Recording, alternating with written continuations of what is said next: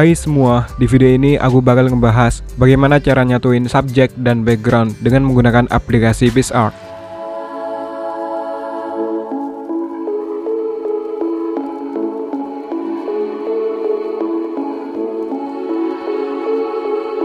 Oke, dan langsung saja kita buka aplikasi PixArt. Nah, di sini aku udah menyiapkan sebuah background yang aku udah edit sebelumnya, yaitu aku crop menjadi 4 banding 5 dan aku menghilangkan pohon menggunakan clone tool. Kemudian aku memberikan efek lens blur supaya seolah-olah efek bokeh, karena nantinya kita akan memfokuskan pada subjeknya. Oke, mari kita mulai ke topiknya. Kemudian kita masuk ke menu add foto atau tambahkan foto. Lalu tambahkan fotomu yang akan diedit. Aku menemukan foto ini di situs unspace.com. Kemudian kita scale up dan letakkan kira-kira seperti ini. Setelah itu kita akan menghapus pada bagian backgroundnya. Jadi kita masuk ke icon eraser dan pilih person supaya ini menghapus secara otomatis pada bagian orangnya. Tapi di sini aku masih mempunyai bagian-bagian yang masih belum rapi. Sebaiknya aku menghapus secara manual saja untuk mendapatkan hasil yang lebih maksimal.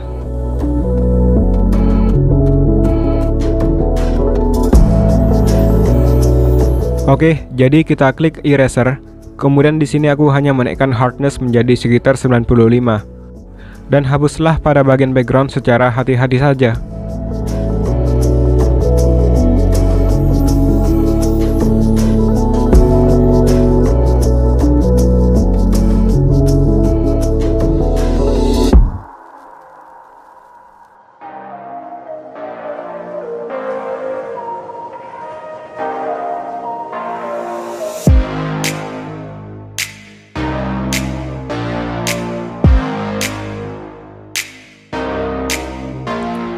Dan jika udah selesai, klik centang.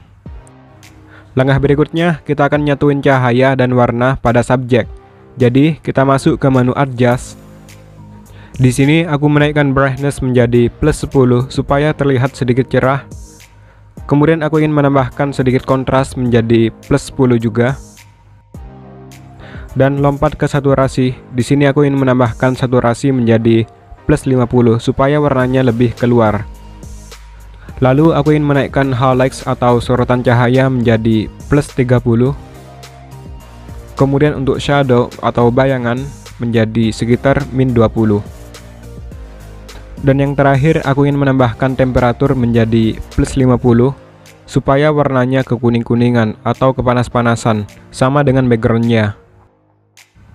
Klik centang jika menurutmu udah selesai Langkah berikutnya, aku ingin menambahkan efek cahaya matahari. Jadi, kita masuk ke menu Add Photo atau tambahkan foto. Kemudian tambahkan cahaya matahari seperti ini. Kamu bisa mencarinya di Google dengan keyword Sunlight PNG.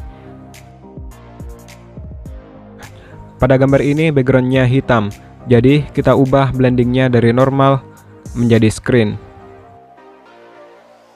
Lalu aku ingin mendapatkan efek cahaya matahari di bagian sini sebagai arah datangnya cahaya matahari.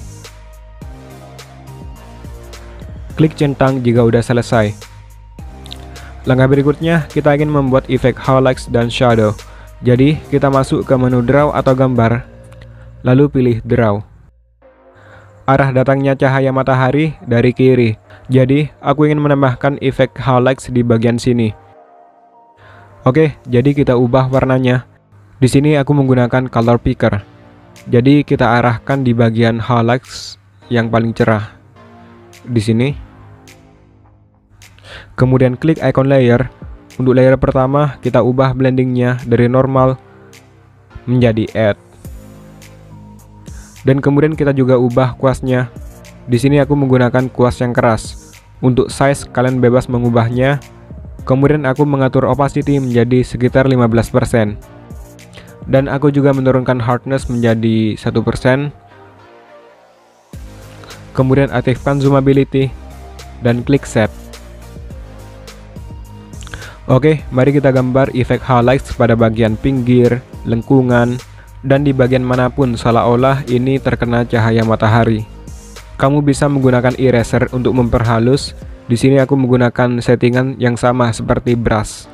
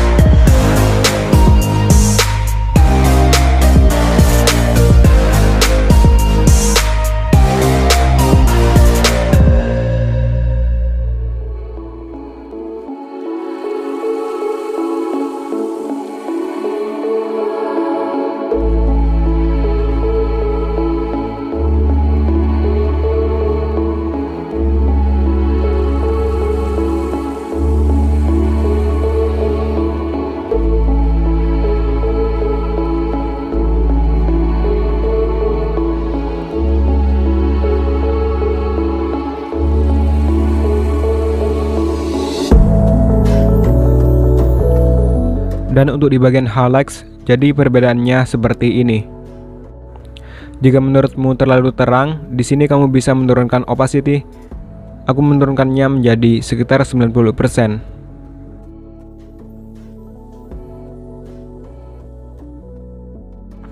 Oke, langkah berikutnya kita akan membuat efek bayangan atau shadow.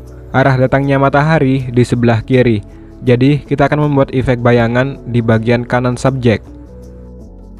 Nah, kita masuk ke layer, kemudian kita buat layer kosong baru, dan kita ubah blendingnya menjadi overlay.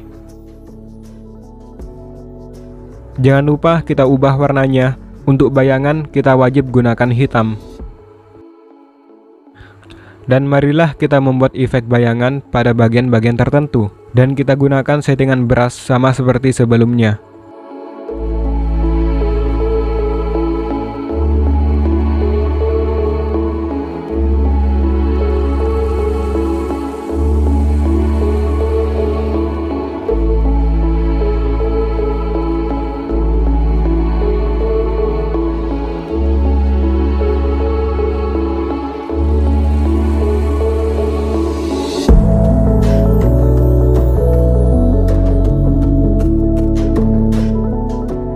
Nah, untuk di bagian bayangan, jadi perbedaannya seperti ini.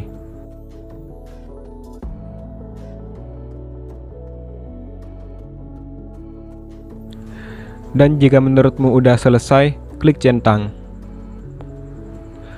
Dan langkah terakhir, kamu bisa simpan foto ini ke galeri, atau jika perlu, kamu bisa mengeditnya lagi menggunakan aplikasi Adobe Lightroom sebagai sentuhan terakhir.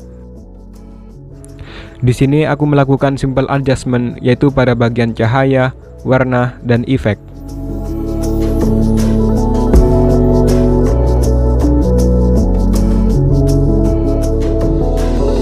Dan jadi hasilnya seperti ini.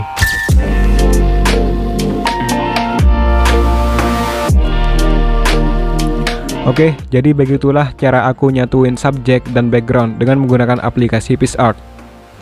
Jadi sekian dulu videonya. Terima kasih banyak udah nonton. Jika kamu suka dengan video ini, silahkan tinggalkan like. Jangan lupa follow Instagramku. And see you again in the next video.